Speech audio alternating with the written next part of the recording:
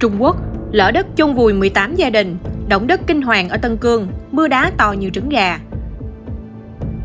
Ngày 22 tháng 1, một vụ lở đất đã xảy ra ở thành phố Chiêu Thông, tỉnh Vân Nam, khiến ít nhất 44 người thuộc 18 hộ gia đình bị chôn vùi. 8 người được xác nhận đã thiệt mạng. Có thông tin nói rằng, vụ việc liên quan đến hoạt động khai thác than ở địa phương, có rất nhiều công ty khai thác than tại đây. Cư dân mạng đặt câu hỏi, tại sao 18 hộ gia đình mà chỉ có 44 người? Người dân ở làng Lương Thủy cho biết, vào thời điểm đó, mọi người đang ngủ, trận lở đất gây ra âm thanh lớn và rung chuyển, cảm giác giống như một trận động đất lớn. Tối đó, tuyết bắt đầu rơi và rất lạnh. Độ cao của ngọn núi trong vụ lở đất này là 70 đến 80 mét. Những hộ dân bị chôn vùi đều là những hộ ở dưới chân núi. Về nguyên nhân vụ lở đất, một số cư dân mạng để lại bình luận như sau.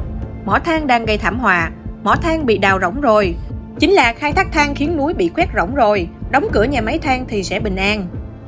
Khi phóng viên gọi điện cho công ty trách nhiệm hữu hạn mỏ than Lưu Gia Pha ở huyện Trấn Hùng để hỏi về vụ sạt lở núi, bên kia đã lập tức cúp máy. Động đất mạnh 7,1 độ Richter ở Tân Cương Sáng sớm ngày 23 tháng 1, một trận động đất mạnh 7,1 độ Richter, độ sâu 27 km, cách thành phố Aksu Tân Cương 140 km, chưa có thông tin về thiệt hại và thương vong. Cơ quan khảo sát địa chất Mỹ USGS cảnh báo rằng thiệt hại trên diện rộng có thể xảy ra Đài truyền hình địa phương ở New Delhi, thủ đô của Ấn Độ sau đó liền đưa tin, có một trận động đất mạnh được cảm nhận ở New Delhi, cách tâm chấn 1.400 km. Ngay sau đó, thêm 3 trận động đất nữa được ghi nhận tại địa phương với cường độ lần lượt là 5,5 độ Richter, 5,1 độ Richter và 5 độ Richter.